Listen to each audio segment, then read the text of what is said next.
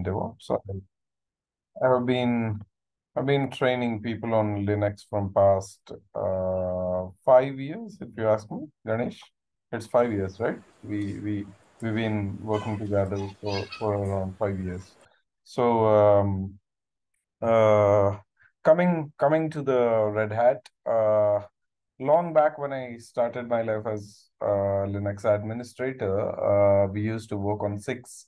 So uh, now the current version is nine. I have worked with six, seven, eight, and nine.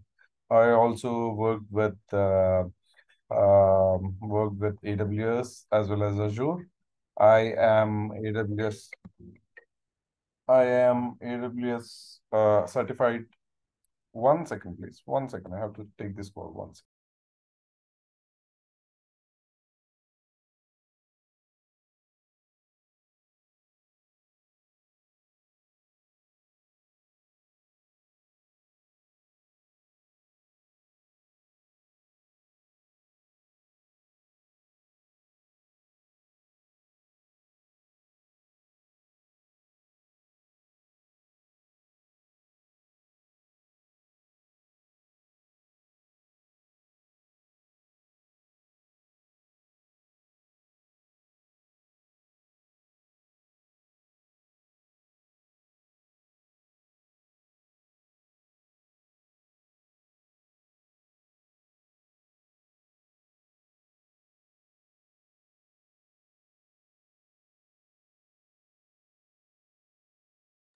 So uh, yeah, where are we? So uh, I am uh, AWS certified uh, solution architect associate as well as uh, certified Azure admin.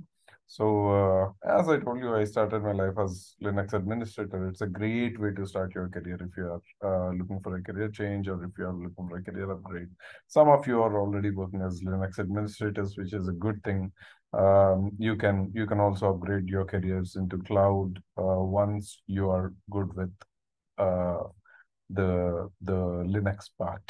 So uh, even if you are a DevOps engineer, even if you are a cloud administrator or a cloud engineer, the the base remains Linux because once your Linux is strong, once your Linux is good, you can go anywhere and do anything. So um, when I say you can go anywhere and do anything, it may be a bit exaggerating for you, but uh, it's not exactly like that because uh, I can show you a few things. Uh, for example, um, let me share my screen to you first of all. Um, can you can you see my screen? Yes. Yes. Yes. So um, so when when when coming to Linux, um, we will be learning different things in system administration as well as server administration, right? Most of the people here uh, who are working as Linux administrators already know. We have system administration. We have server administration. We have automation. And we have containerization or containers. These are the things which we which you will be seeing in RHCSA by RHCE Nayan certifications. The latest one is Nayan. I think uh, uh, 8 uh, also rolled out. Um, but but but I think he I think they withdrew 8 uh, currently the certifications which are going on are uh, RHCSA 9 and RHCE uh, 9 if you ask me. RHCE part, you will you will get Ansible uh, and and automation and stuff like that. And then also you have to learn shell scripting or the Bash scripting, which is which is really really important for um, for doing the automation, right? Automation by using scripting, if you ask me, by using scripting. So when when I talk about the system administration, we will be doing disk management or the user management or uh, or the process management these these will definitely stand out as basics for everything. For example let us take let us take users and groups. These users and groups when you go into the cloud aws path will become iam which is identity access management. For example if you have uh, if you have disk uh, management here uh, in AWS, it will become EBS. AWS, it will become EBS, which is Elastic Block Storage.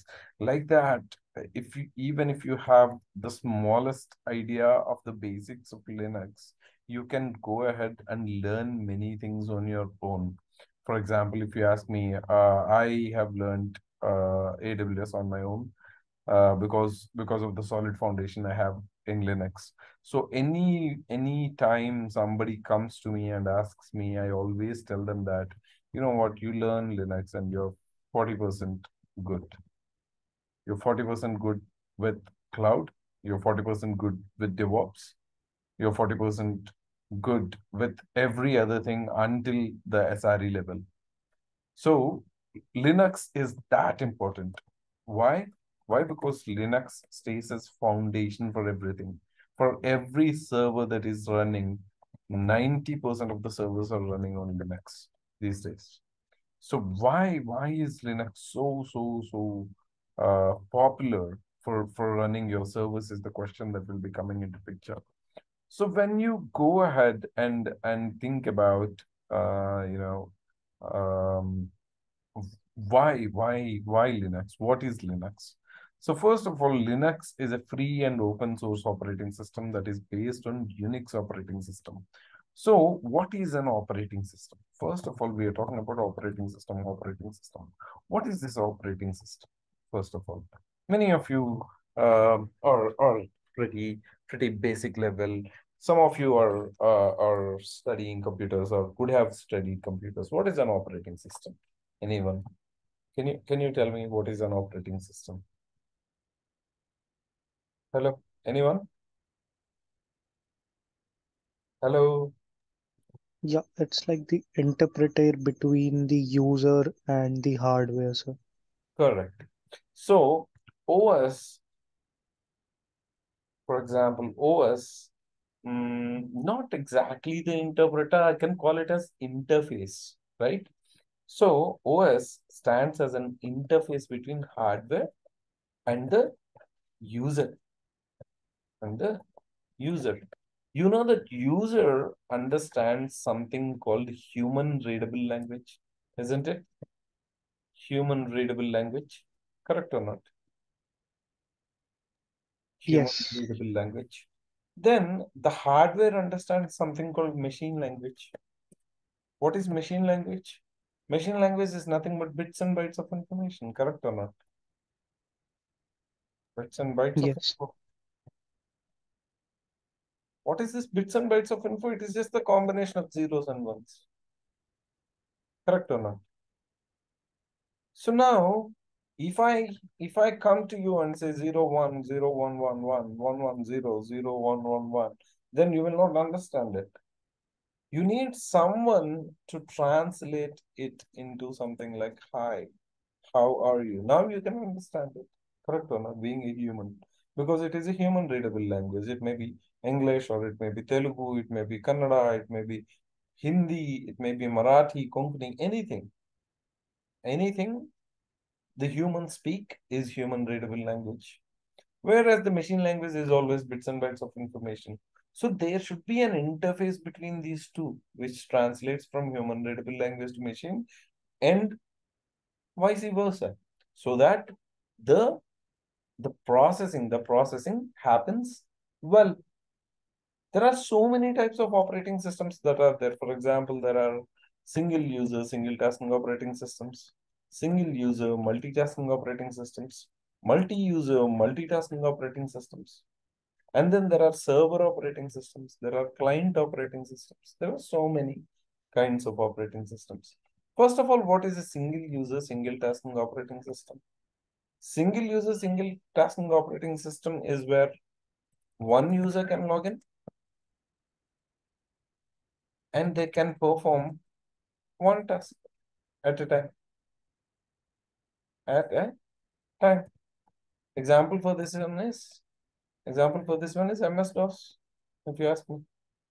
The next one is single user multitasking operating system. Only one user can log in here, but he can perform multiple tasks. But he can perform multiple tasks Example for this is Windows. You may you may also ask somebody who's who's who's working on Windows may have asked me this question. Sir, uh, there is a there is a feature called Active Directory in Windows by using which multiple users can log in into the Windows machine also. But this is an add-on. Without this add-on, only one user can log in into into the Windows and they can perform multiple tasks. For example, let us have a look at my machine. This is a Windows machine. I only logged in to this machine, correct or not? And I am writing on the notepad, I'm I'm talking on Zoom, uh, I'm running my Chrome, you know, and and and I've been moving my cursor, I've been doing multiple things at, at one time. The next one is multi-user multitasking operating system. Multi-user multitasking operating system. What is multi-user multitasking operating system? In this, multiple users can log in. Can log in at a time. At a time. And they can perform multiple tasks. For example, let us take the example is Linux. In Linux, multiple people can log in at the same time. For example, um, let us say there is Alan, there is Ram who is teaching, there is Ganesh who is there. For example, there are three users called Alan, and then uh, then there is this user called Ram, and then there is this user called Ganesh. Both three of these people can join, and three of these people can log in at the same time, and they can perform their own tasks. Every person is confined to a boundary called home directory inside Linux. Why, why are they confined? If if we are letting Ellen go into Ram, Ram's files, then then there is a chance that Ellen can delete the files or uh, files of Ram, or Ram can delete the files of Ellen. That is why there is an abstraction between between the users who are logging in. Correct or not? Yes. Hello. Hello. Hello. Yes. Yes. So now multiple people can log in at the same time and in their home directories they can perform multiple things. That is multi-user multitasking operating system. Linux is a multi-user multitasking operating system. Okay, good. Linux is a multi-user multitasking operating system. Very good, fantastic. Now you have seen single user single tasking, single user, single user multitasking, multi-user, multitasking operating systems. Then there are server and client operating systems.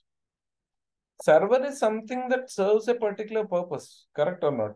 For example, there is there is this server called uh, uh, HTTP server, correct?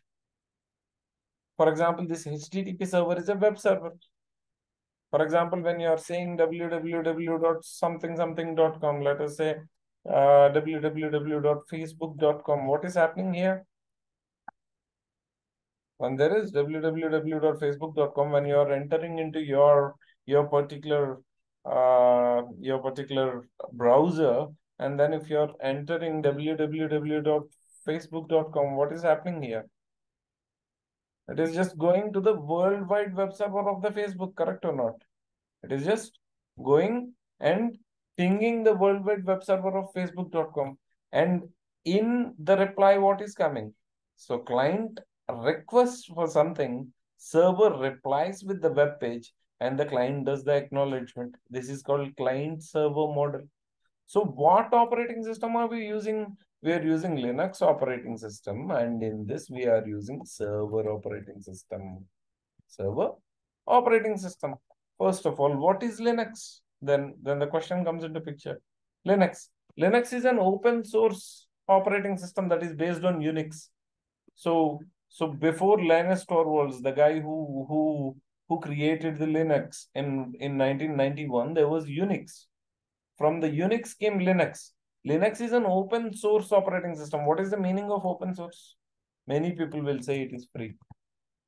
When they say open source, many people will say that it is free. No, Open, open source means open source means not free. Open source means the source code with which with which the operating system is written is distributed freely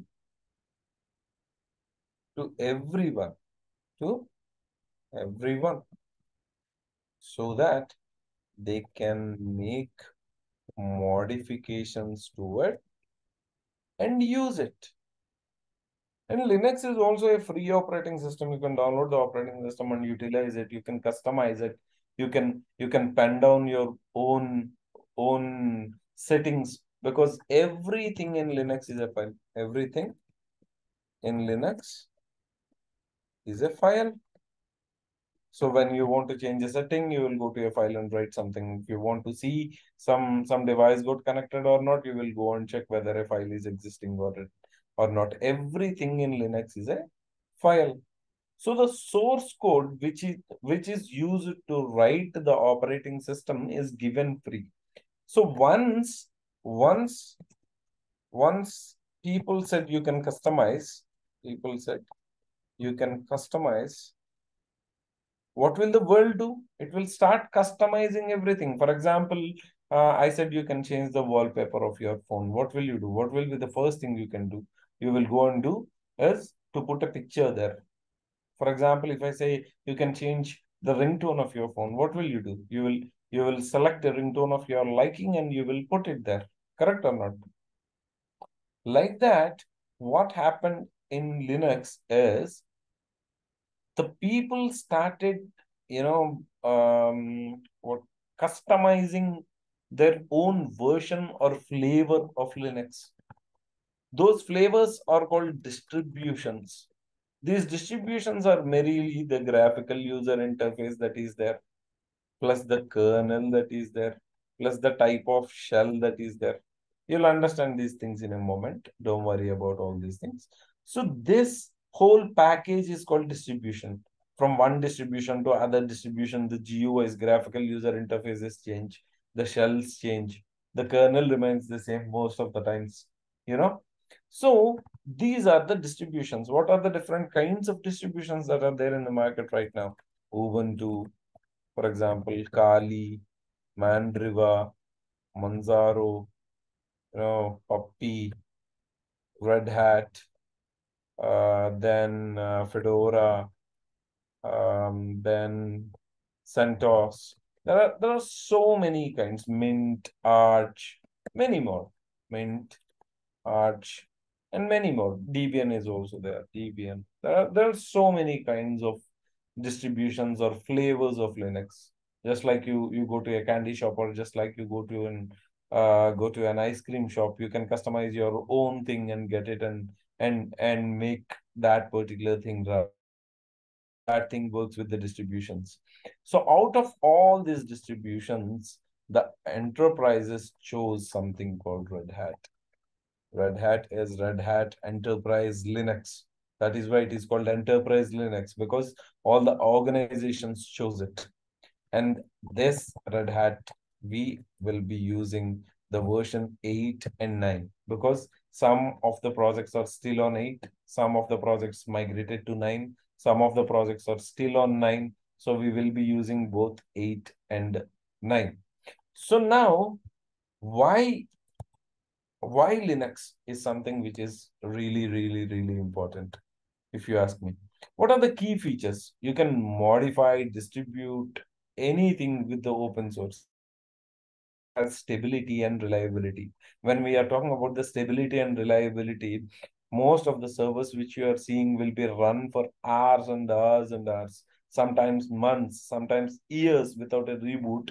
We will be running some servers. So Linux has that stability and reliability. That is why it is really important to make some critical systems. For example, if you want something to be up on the internet all the time, you can choose Linux and then there is security. For example, let us say uh, in Windows, earlier in Windows, if you remember, when you put the pen drive, there used to be virus problem, correct or not? There used to be worms and worms and trojans. Trojan is something where you will be seeing .exe file. For example, there is music, then there will be music.exe. If there is a file, there will be file.exe. Remember, we used to put those those pen drives with viruses and clean operating systems. We used to format our own machines all the time. Correct or not? Hello? Hello? Yes. Yes. So what was happening back then? Whenever you run an executable file, that executable file will be running inside C. Usually in the C, you will be having your operating system. Correct or not? Once the exe runs in the C, the whole operating system will get corrupted due to the virus. So like that, Windows has some, you know, some backlogs when we compare it with the Linux. Linux has something called distributed file system. This distributed file system will be like an inverted tree. It grows downwards. For example, it will start with root and then it will come to the first level directories. And then there will be second level directories. And then there will be third level directories. And it will go on, go on, go on, go on like that. For example, there is a directory, there is a subdirectory, then there is a super subdirectory, then there is a super super subdirectory like that. And inside that, there are some files. Like that, the tree will grow downwards, if you see. So that is why Linux has something called inverted tree architecture. And even if you connect a particular pen drive, that particular pen drive is connected to a folder. Out of that folder, that virus will not go. For example, let us say uh, everything in Linux starts with forward slash. For example, under slash mnt, you have connected your pen drive. Now the virus will just stay in slash mnt. It will not go to forward slash and affect your whole operating system. That is why Linux is foolproof. That is why we also call Linux as secured operating system. And then there is customizability. For example, a user wants something to run run like something. For example, you want a process to run just like you want it. You can customize it. If you want to, if you don't want to use a shell, you can take it off. If you want to use a particular shell, you can install it. If you want to make some changes to your server, you can do it. If you want to remove some uh, some components, you can do that. Anything can be customizable inside Linux. That is why Linux is a top choice. What are the advantages? It is an open source operating system. It is highly, highly customizable. It is secure and stable. But what are the disadvantages? When people talk about disadvantages, people always talk about being less user friendly, uh, requiring more technical knowledge, limited software compatibility, etc., etc., and etc. But a Linux administrator, a Linux administrator always loves his server because because he can do tedious tasks tedious tasks by running simple commands simple commands yes you may you may have you you you may have uh, the uh, the requirement to learn so many commands. But at the same time, once you're good with the commands, you can make or break your servers easily. So, for example, let us take uh, let us take we are copying files of 4.5 GB from one one directory to other directory, or from pen drive you are copying 4.5 GB into your laptop. How much time will it take? It really depends upon what kind of usb you're using correct or not? Usb 3.0 usb 4.0 or or some something like an ssd with a 1000 mb uh, 1000 mbps speed right it depends on the speed still it will take a lot of time in windows to copy that 4.5 gb but when you're copying that 4.5 gb with linux it will happen in seconds because you will be using a command called cp for copying it. So why is it so fast? Because you won't be having in a huge graphical user interface. What is the difference between graphical user interface and the command line interface? Graphical user interface is click, click, go. Next, next, finish. You know, you just you just open it, you just minimize it, you just maximize it, you just close it, you just restore it you you you you make it get back again these are all the things which we will be doing in GUI it is just click click go when compared to the click click go the the CLI when we are talking about the CLI is command line interface. You write write and go. You get your hands dirty to do things. For example if you want to make uh, make changes to a particular service you will go and edit some configuration file called .conf file by using a command called vi vi is a visual editor command which we will be talking about in in coming days. So whatever you think as a big task can be done with the smaller smaller commands. So getting an idea about about 200 to 250 commands will make you a master in handling the servers without a problem. So that is one thing that will also come into picture. Now now when when we are talking about the limited compatibility you don't need all all the thousands of softwares that are there which will be working uh, with the client machines for example you won't be running vlc media player on a server right?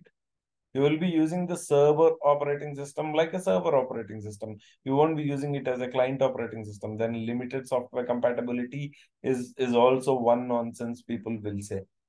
The next thing is customization.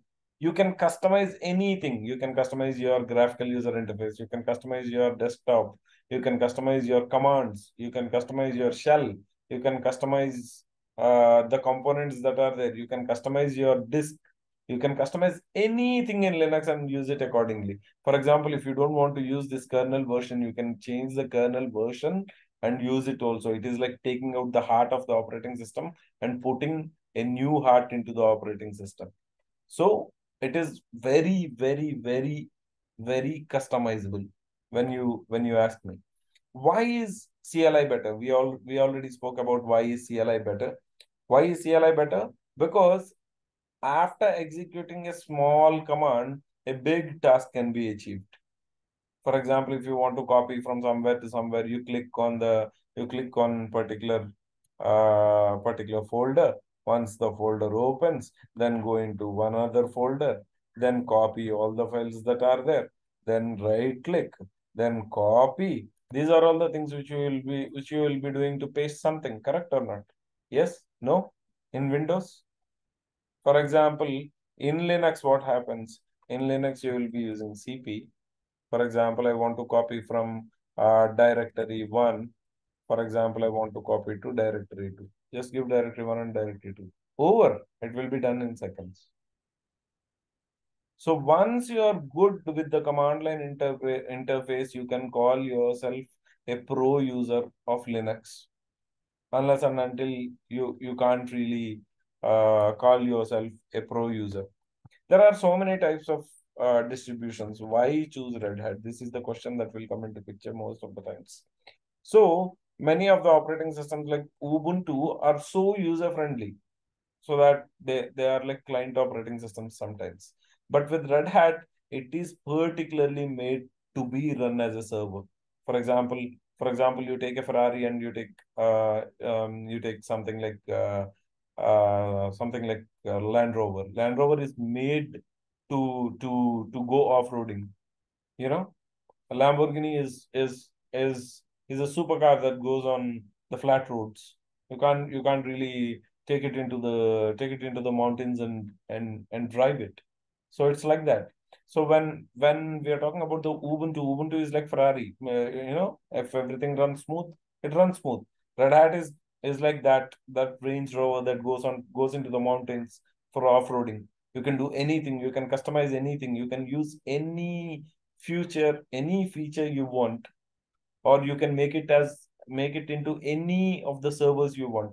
For example, you want it to be an FTP server, which is a file transfer protocol server. You can do it. If you want it to be a web server, you can make it a HTTP server. If you want if you want it to become a mail server, you can make it an SMTP server. If you want your operating system, you, your server operating system to give the give or uh, or assign IP addresses, you can make it DHCP server. If you want uh, your server to do IP address to hostname, hostname to IP address conversions, you can make it a DNS server. So like this, you can make your Red Hat server into any server and make it work wonderfully without a glitch or without a problem. So after this, we have to talk about something called architecture of Linux.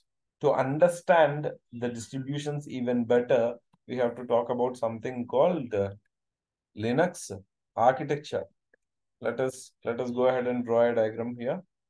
So uh, the first thing which you will be seeing here is hardware. On to the hardware, there is kernel. On to the kernel, there is something called shell. On to the shell, there is something called applications. This is called Linux architecture. This is applications. This is shell. This is kernel. This is hardware. For example, let us say this is applications. And this is uh, shell. And this is kernel. Kernel. The last one here what you're seeing is hardware. So now let us have a look at each and every component inside the linux architecture first of all the first and foremost is hardware. Hardware understands what? Machine language.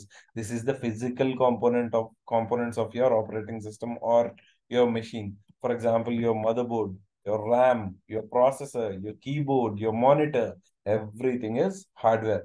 The next one is kernel. Kernel is like heart of the operating system. It sits between shell and hardware. So it acts as an interface between shell and hardware whatever application gives the command, the command is taken by the shell, shell gives it to kernel, kernel gives it to hardware. For example, let us say, um, let me let me show you my server um, so that you will understand it better. Uh, I will be logging in into my AWS server. Um, meanwhile, I'll show you a few commands also. You'll understand it better that way.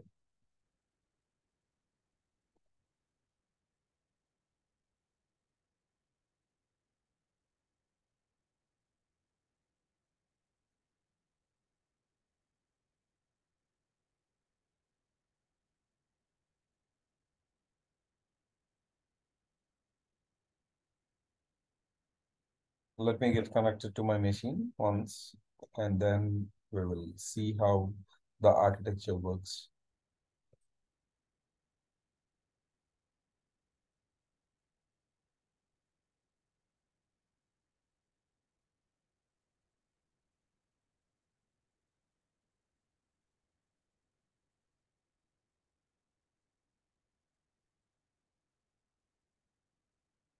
Don't worry about all these things. I will explain you all these things in the later classes. Just focus on some commands for now.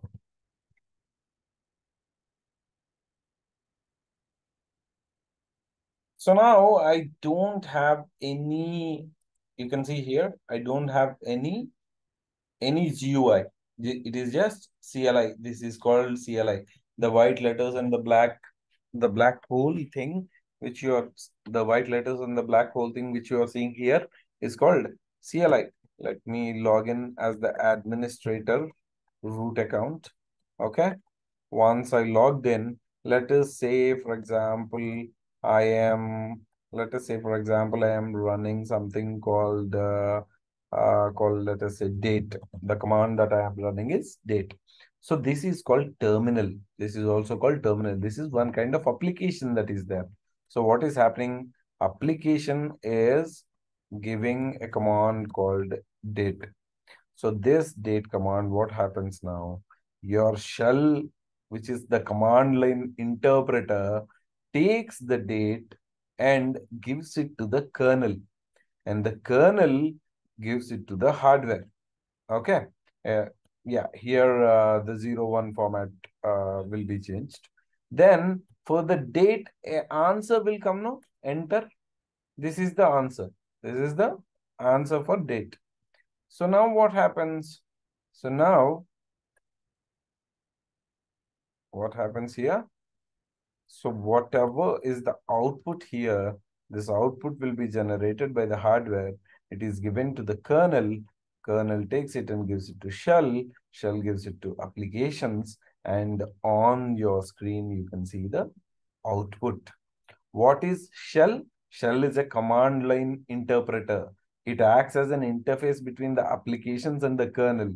It takes the commands written into the terminal and processes them using the kernel and hardware, which are low-lying layers.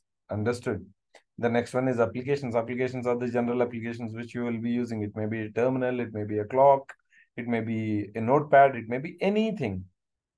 So whatever you do should be going through this architecture and coming back uh, so that you will be getting whatever output is required.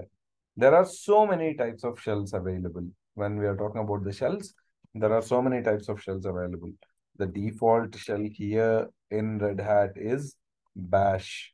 Bash is the default shell.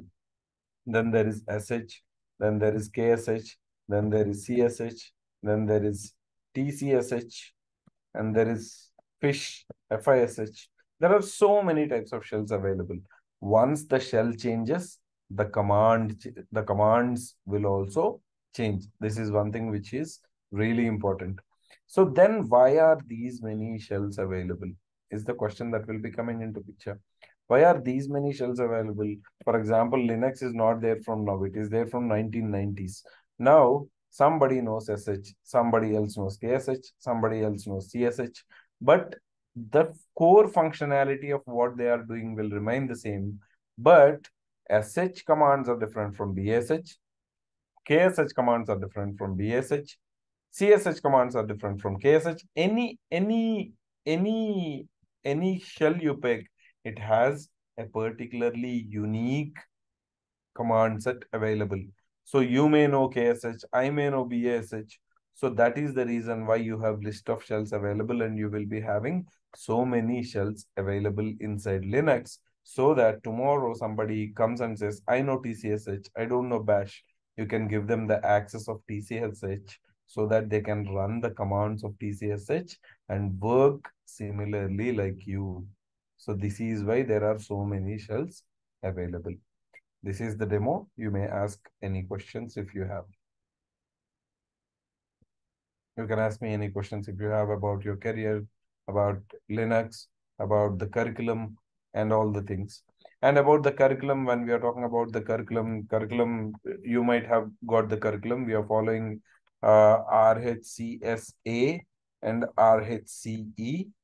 Uh, and we are particularly focusing on 8 and 9 you will be learning both 8 and 9 here. You will be learning the differences between 8 and 9. And also you will be learning shell scripting as a complementary thing. Shell scripting is not included here, but we are giving the shell scripting part. Shell scripting in RHCSA may be very small, but we are giving shell scripting. Then we are also doing the advanced shell scripting where you will be writing some real-time scripts and getting information.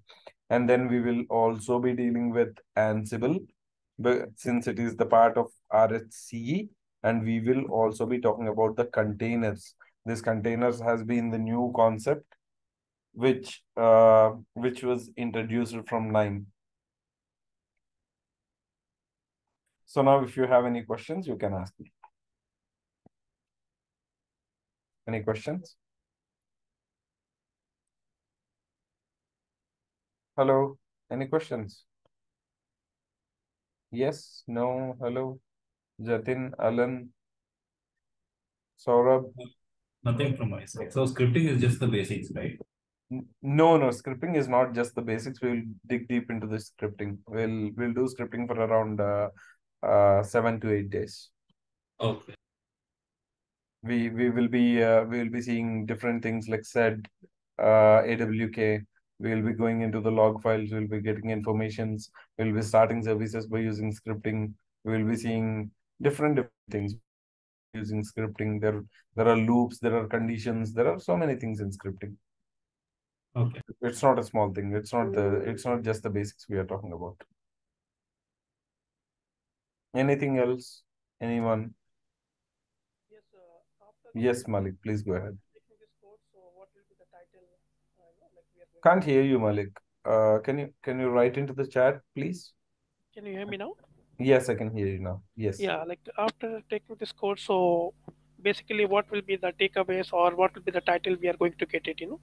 So uh, after finishing this course, you can be able to finish uh, RHCSA 9 as well as RHCE 9, uh, which can make you Red Hat certified uh, system administrator and Red Hat certified uh, uh, engineer, uh, which is uh, which is an automation engineer. Um, you can also take away. You can also get uh, the basics of DevOps, if you ask me, because you have the Ansible. Is there. So you will be getting some good insights into um, the technicality of of of what uh, IT needs right now.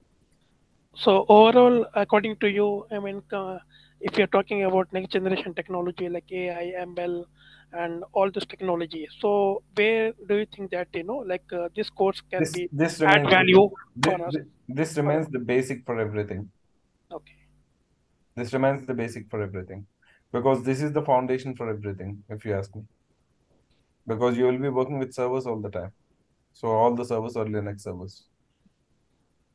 Okay, so we'll be focusing mo uh, mostly for the server server side. Correct. We are we are doing the server side. Uh, What about in the client side? Even if you if you're learning the server side, you can use it for the client side also because because 90% of the time when you're uh, when you're seeing something, um, if you if you learn how to handle a server, handling the client is so easy. Yeah, but but mostly I think the client side they are using GUI.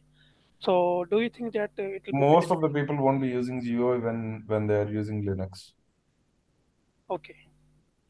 Yeah, because because that is one one nonsense you want to avoid in uh, in Linux. That is why people come to Linux. They want uh, they want to get their hands dirty and and they want to perform multiple tedious tasks by using small commands. If you are using the same GUI, you can you can literally stay in Windows and do whatever you want to do. Correct or not? Got it. Thank you. Yeah. Any anything else? No, it's okay. Any, anything else from anyone? Saurabh? So, Jatin, Alan.